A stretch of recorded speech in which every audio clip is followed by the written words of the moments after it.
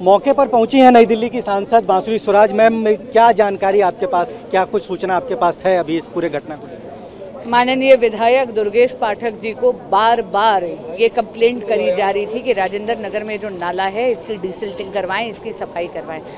उन्होंने एक नहीं सुनी। और इसीलिए सारा का सारा पानी जो है, दो दो फुट पानी तो सड़क पे है और कहते पूरा का पूरा बेसमेंट इस इंस्टीट्यूट का पानी से जलमग्न हो गया है। कहते हैं यहाँ पर गोताखोरों को कूदी लगाकर बच्चों को निकालना पड़ रहा है। इस वाटर लॉगिंग के कारण कुछ बच्चे इलेक्ट्रिक्यूट हो गए हैं और उन्होंने अपने प्राण खो दिए हैं। ये कितनी कितनी शर्मनाक बात है।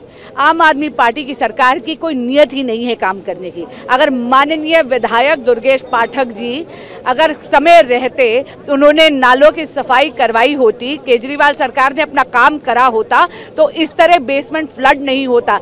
ये बच्चे यहाँ पर आईएएस का एग्ज़ाम देने के लिए आए हैं। ये बच्चे यहाँ पर एस्पिरेशंस लेकर आए हैं। ये बच्चे पढ़ाई करने आए थे।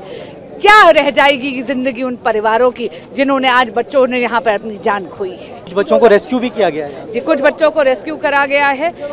काम जारी है लेकिन ये नौबत ही क्यों आई? ये नौबत इसलिए आई है क्योंकि आम आदमी पार्टी की सरकार क्या दिल्ली की जनता के लिए काम करने की नीयत ही नहीं है। लो लाइन एरिया है और यहाँ पे पूरा पानी बाहर निकलता है इस लैंड से। यहाँ पे सडनली एक पॉइंट पे ड्रेन या सीवर कुछ तो फ्लैश टूटा है जिसके कारण पानी सडनली बेसमेंट में गया है।